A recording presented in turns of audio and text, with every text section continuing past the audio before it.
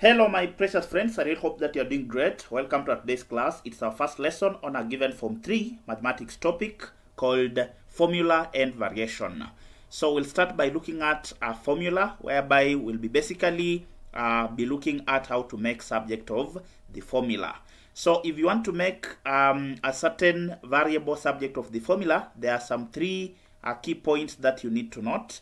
Uh, the first point is that you need to uh, open brackets, uh, open uh, any brackets, you open any uh, brackets, that is uh, where possible, uh, open any brackets where possible.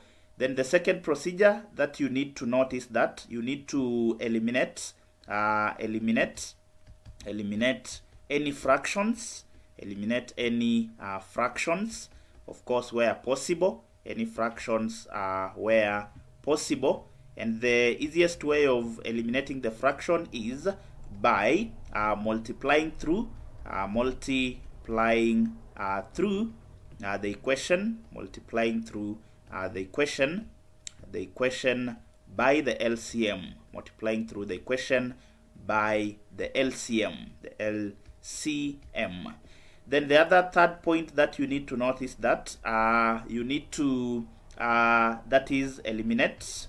Uh, you need to eliminate eliminate any roots any roots where possible. Eliminate any roots where uh, possible. Uh, when we talk of the roots uh, for example if uh, the equation has a square root uh, you need to eliminate the square root by squaring uh, both sides. The other root could be maybe a cube root. You need to cube both sides. If there is a fourth root uh, you multiply through uh, by that is uh, a quarter. Then if there is a fifth root you also need to uh, do away with it. Then of course the other roots could be maybe it is uh, the equation is multiplied by a third. So you can um, multiply through by the cube root so that you can that is eliminate the third. Or you cube both sides. If there is maybe uh, something like uh, maybe you have a bracket which is to the power of uh, maybe something power 5 then you multiply through uh, by 1 over 5 so that the 1 over 5 and power 5 is going to cancel out. So these are basically the major uh, three steps that you need to uh, be aware of. The other maybe step that you also need to know is that you can group or you simply collect the like terms. You can collect the like terms collect the like uh, terms uh, having uh, collect the like terms having uh, the number or having the variable uh, variable having the variable to be made subject of the formula. To be made uh, subject of the formula subject of the formula of the formula. So basically these are the four steps that we follow when we are making uh, a certain equation subject of the formula. Then uh, we can look at an example so that uh, we see how we can apply this in a given question. So our first example is a past case equation done in uh, 1989 paper 2 question number 3 it's a question worth 3 marks. So we are told to make x the subject of the formula n is equals to p over uh, the square root of ax plus bx so for example, the first step here, we have um, a square root. Uh, so we are going to remove the root. Uh.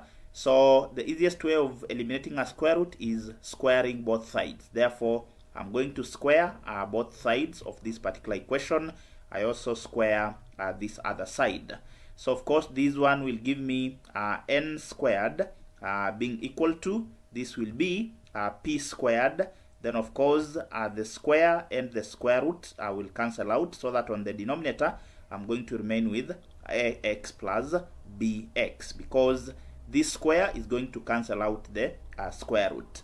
Then from this particular point I want to uh, cross multiply so that I have uh, n squared then into uh, ax then plus bx which should be equal to 1 multiplied by p squared. I'm simply going to get p squared then I open the bracket so that I'll have uh, ax n squared ax n squared then plus uh, bx bx n uh, squared being equal to p squared. So because I'm required to make x subject of the formula uh, I'll factor out x so that I'll have uh, x uh, into. Of course uh, if I take axn squared divided by x I'm going to remain with an squared because the x will cancel out. Then bxn squared divided by x I'm going to remain with uh, bn squared because the x will cancel out uh, which should be equal to uh, p squared. Uh, therefore actually I'm going to divide on both sides of this equation by uh, what whatever is in the bracket which is uh, an squared then plus bn squared. I also divide this other side with an squared an squared then plus bn squared. So that uh, these two are actually going to cancel out. So this is n squared. So this term this one and this one are going to cancel out. So that um, I'm going to remain uh, with my answer uh, being given by the following.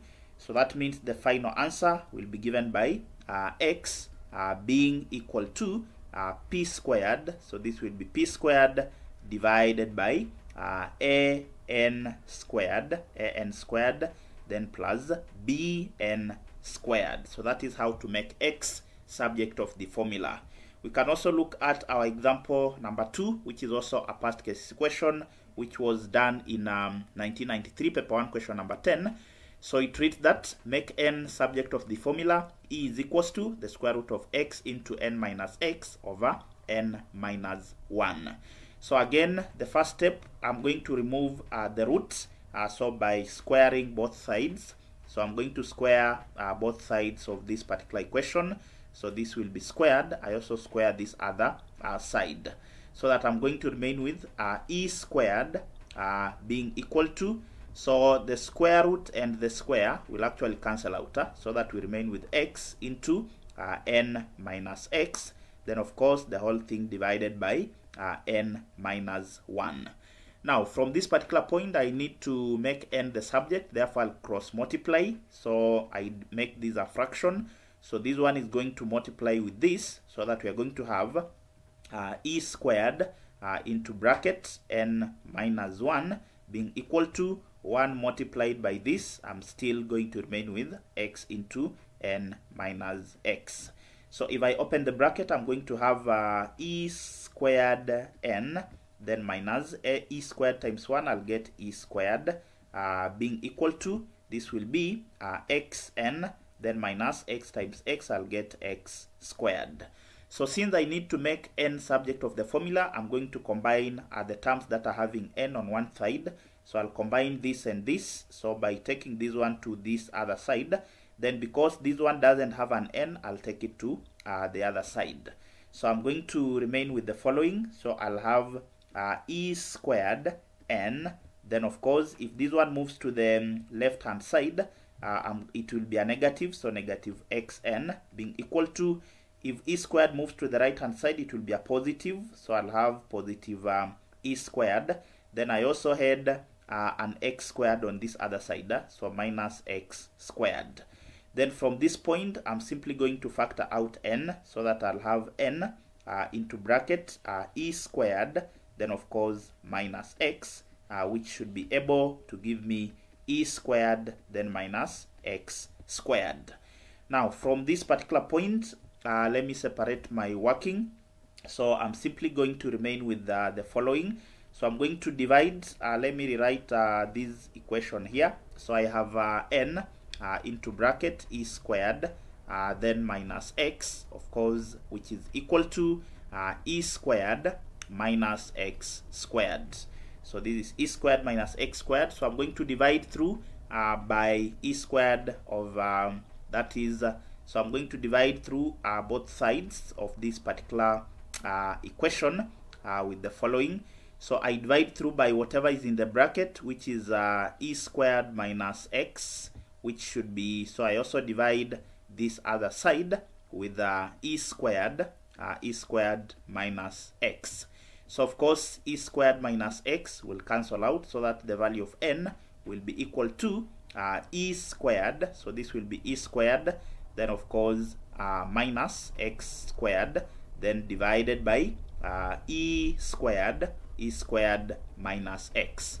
or this one can also be expressed as because these are difference of two squares so we can talk of uh, e plus x. Then of course uh, e minus x e minus x then divided by uh, e squared e squared minus x.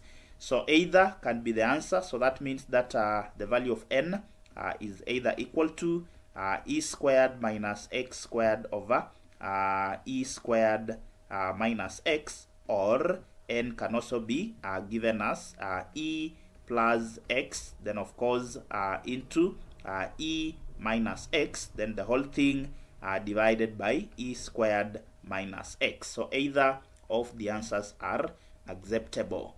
Then we can look at our example number three which is also a past case. Question tested in 1994 paper 1 question number 14 it reads that make p subject of the formula uh, given that a is equals to a negative ep divided by the square root of uh, p squared plus n.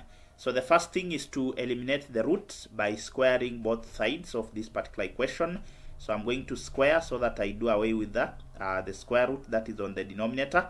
So this will be given by the following. So i'm going to square this side.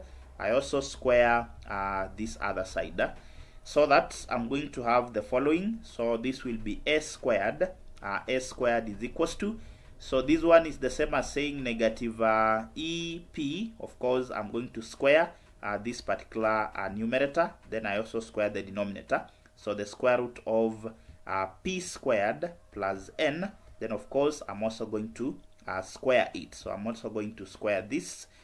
So that is the interpretation of this particular square so i'm going to have a squared uh, being equal to so this one means that i am having negative ep then multiplied by negative ep so of course uh, divided by uh, the square root will cancel with the square so that i remain with a p squared then of course plus uh, n. So this is uh, going to give me the following so this is going to give me the following. So i'm going to end up with uh, a squared uh, a squared being equal to of course negative and negative will give us a positive e times e i'm going to get a positive e squared then p times p i'm going to get p squared then divided by on the denominator i'm having a p squared so this is p squared plus n so they want us to make p subject of the formula. Therefore, I'm going to cross multiply. So I divide through by 1. So this one will multiply with this so that I'm having a squared uh, into bracket p squared then plus n uh, being equal to 1 multiplied by this. Uh, it will just remain to be e squared p squared. So if I open this bracket, I'm going to have um, p squared a squared then plus uh, n multiplied by a squared uh, which should be equal to uh, e squared p squared. Then I'm going to collect the terms having a p together. So I'll take this one to this side. Then I'll take this other term to the other side because I need to make p subject. So this will be a p squared a squared. Of course this will be a minus. So minus e a squared p squared. Being equal to this will be a minus also. Minus n uh, a squared. Then I'll factor out my p squared, so this will be p squared into a squared minus e squared. Then I close the bracket, which should be equal to negative n a squared. Then I'm going to divide through by whatever is in the bracket, so that I divide through by a squared minus e squared. I also divide through by uh, a squared minus e squared therefore I'm going to uh, get the following so I'm going to remain with um, the following so this will uh, give me so of course the e square that is s squared minus e squared will cancel out so my p squared uh, will be uh, equal to the negative of uh, n s squared n s squared then divided by uh, s squared s squared minus e squared so if I want to remain with p alone, I'm going to square root both sides. So I square root this side. I also square root this other uh, side here. But remember the square root of a number is always plus or minus. So it means that p uh, will be equal to, so this square root will be plus or minus. Huh? So it will be plus or minus uh, the square root of uh, the following. So this will be uh, into brackets. I'm going to have negative uh, n, negative n a uh, squared. Then of course divided with uh, a squared minus e uh, squared. So this will be uh, p, that is the subject uh, of p. So remember you can also express this as p is equals to plus or minus. Uh, you can also uh, decide to take, um, yeah, so this one actually it will remain to be this way. Yeah, actually this will be the final answer. So we can uh, leave it at this particular point. So uh, in our next class, we'll be looking at further examples involving making subject of the formula. Thank you very much for accompanying me until the end of this particular lesson. I do not take it for granted. In case you are new to the channel, kindly hit the subscription button and also turn on the notification bell so that whenever I upload a new video, you'll get notified. Until next time, this is Kind Tuition Academy. Thank you.